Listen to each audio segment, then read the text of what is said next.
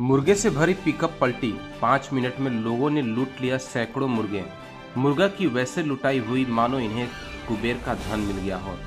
बिहार के अलग अलग जिलों से कभी शराब तो कभी तेल तो कभी मछली लूटने की खबर सामने आती रहती है।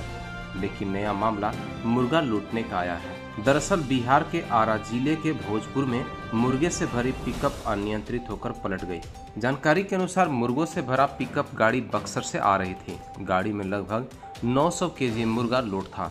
तभी गाड़ी का टायर फट गया और वाहन अनियंत्रित होकर पलट गई। हादसे के बाद वाहन में चालक और उपचालक गाड़ी के अंदर फंस गए। चालक और उपचालक अपनी जान बचाने के लिए लोगों से गुहार लगाते रहे। लेकिन स्थानीय ग्रामीण और राहगीर घायल को बचाने के बजाय मुर्गा लूटने में व्यस्त रहे। इस हादसे में पिकअप सवार ड्राइवर समेत दो लोग गंभीर रूप से घायल हो गए।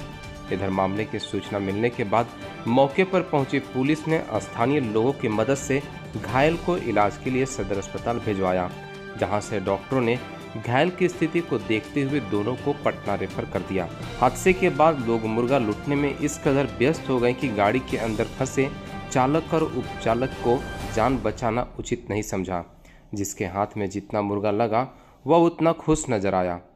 घटना के बाद मौके पर पहुँची पुलिस घायलों को वाहन के अंदर से निकालकर इलाज के लिए अस्पताल भेजवाया और मुर्गा लूटकर भागने वाले ग्रामीणों को जमकर फटकार लगाया।